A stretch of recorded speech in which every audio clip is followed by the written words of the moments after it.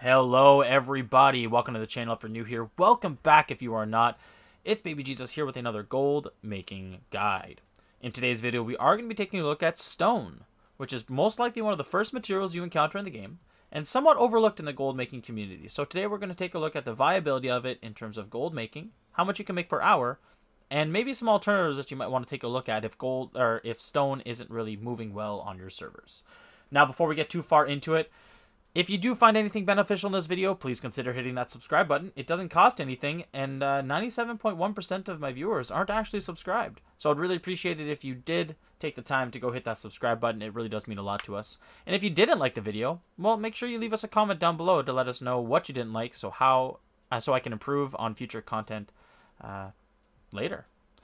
Now, let's hop right into the nitty gritty of it, guys. So remember, everything that I talk about today is going to be completely dependent on my server. Therefore, the numbers are going to change based on your server. This may be viable on yours. This may not be viable on yours. Take everything with a grain of salt. I'm just here to give you guys some ideas of things to look at uh, for potential gold making for your you specifically in your character. So before we go too far, I want to show you guys what stone is selling for so you guys can see the calculations that I've done. So I'm not just making things up here. So you guys can see on my server, stone is selling for about 12 gold a piece, or 0.12 gold a piece, pardon me. I wish it was selling for 12. Um, we're going to be talking about stone blocks, stone bricks, um, and slivers, uh, slivers of Adderstone. So you guys can see here, Adderstone is selling for 39.95 on my server, and stone blocks are selling for 14 cents, which is basically the same as the base level. So don't you shouldn't be looking at that. And stone bricks are selling at 64 cents.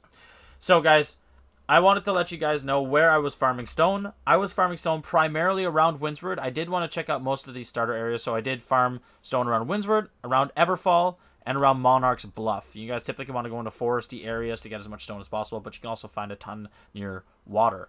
Now, interestingly enough, regardless of where I farmed stone, I almost always came out with the same amount per 10 minutes. Very interesting. Didn't matter if I was mining it in Windsward, didn't matter if I was mining it in Everfall or Monarch's Bluff, I always came out with roughly the same amount, obviously taking averages here. And those numbers are as follows. So I did five runs at 10 minutes apiece with no gear, only my uh, Star Metal pickaxe. And then I did five more runs at 10 minutes apiece with all blue, so all about 4% uh, mining luck gear. And these are how things differed. So on average, the change in stone was only about 8 difference per 10 minutes, which is negligible. Um, the only thing that did change is when I had the full luck gear, I did manage to get two slivers of Adderstone, whereas with the 10 minutes every 10 minute run, I didn't get a single sliver of Adderstone drop. So you'll notice there's a bit higher of a gold per hour when you do run full luck gear because of that potential of getting Sliver of Adderstone. Now, I don't know if I was incredibly unlucky without the gear or extremely lucky with it. If two slivers are a high rate drop, I can't remember if they nerfed it recently. But here are your numbers. So if you're running this as a new player and you don't have any um, additional luck gear or additional material drop gear, I believe I have a bit on my star metal pickaxe, but negligible. This is what you can expect to make on your servers if it's selling at 0.12 gold. You can expect to make around 1400 gold per hour or about 240 gold every 10 minutes. Now, again, this is in virtually any of the starter areas. It's the only places I checked because I want to make this as user-friendly or new user-friendly as possible. Now, interestingly enough, like I said, I ran it five more times after this to see what my average would be when I was full luck gear. I didn't get any gear that increases the percentage amount dropped. Interestingly enough, I only average about 8 more stone every 10 minutes. So basically non-existent in terms of uh, amount that you'll gather.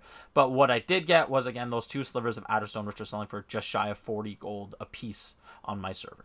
Which means that you up that to just over 320 gold every 10 minutes, or just over 1900 gold per hour. So an extremely viable way to make some gold with a material that is virtually universally accessible. Uh, and you don't really have to worry about again, people farming it only outside of your city because of the global trading posts now. You don't have to worry about always being in your primary city or the most populated city. You can farm this outside of any city and walk it back in, put it on the trade post. Now, I do want to stress, just like the wood video, stone is heavy. I only have two bags and around 2,000 stone. I'm capped out. I think I fit like 2,050 stone. So very convenient that I was getting just shy of it. But I'm borderline overweight whenever I have all this stone. So make sure you are staying close to a city so that you can quickly either bring that to your storage or bring that straight into the trading post, post it up, and get back out to mining. Very important. If not, you're going to be losing a lot of time or spending a lot of Azoth for your gold making endeavors. Now, I did want to provide some alternatives, and it's something I should have been doing in the other videos as well, just in case stone is not moving well on your server. I did some some quick calculations here, or some some quick looks on my server here, uh, at some alternatives. So we can see here, stone blocks are an alternative. If you're gathering stone, you can go and level up your uh, your stone cutting or jewel cutting, whatever one it is, um, on the bench, and then subsequently sell the stone blocks for gold. Now, if you're only out here for gold making, these alternatives don't don't don't do them. You guys can see here, one stone block takes four stone. If each stone is selling for 12 cents a piece and the stone block is selling for 14 cents a piece, it would have to be at 48 cents a piece just to get the same amount of gold back. Plus, you're paying a crafting cost, which is going to be negligible in the grand scheme of things, but it's still there. You can't ignore it. So, probably not the best. And an even worse alternative, if you're really uh, a bit of a masochist here, is crafting stone bricks, which is the step up from stone block. It takes four stone blocks, so now you're at eight stone total, which means that it would have to be selling for, you know, close to a gold per, which is not the case. It's selling for 64 cents a piece. But where it gets even more interesting is it also takes a coarse sandpaper, which on my server is selling for close to 2 gold per piece, which means all of a sudden this better have a nice big 3 in front of it or it is not worth your time. Don't make this if you're here for gold. If you're here to get XP and try and recuperate some of your costs, maybe. But if you're just here to make gold, don't don't do these alternatives. It's not worth it. Even if stone isn't really selling quickly, put it up there. It might sell a little bit. Even if you sell half of this, you're going to make more money than you would if selling any of these just because of the inherent costs of making them. So guys, in the grand scheme of it, to, to summarize everything, you can make a good amount of gold per hour. It's a reasonable amount. It's not extravagant. It's not over the top. You're not gonna be making four, five, six, ten thousand gold per hour like some guides are out there. But two thousand, just shy of two thousand gold, or even fifteen hundred gold an hour, is nothing to shake a stick at. That is a good amount of gold. That is a reasonable amount of gold, and is a reasonable amount of gold for you to make consistently. So, that being said, guys, that is it for this one. I hope you enjoyed it. If it did bring any benefit to you whatsoever, you did learn anything out there or give you some insight as to what other servers are looking like, please consider hitting that subscribe button. Again, 97% of you aren't subscribed, so I'd really appreciate that. And if you did really like it, leave a comment down below of what you enjoyed or what you didn't. And last but definitely not least, make sure that you leave a comment to tell me how I can improve on future content. That being said, have yourselves an amazing day, take care of yourselves, be kind, and I will see you in the next one. Take care now. See ya.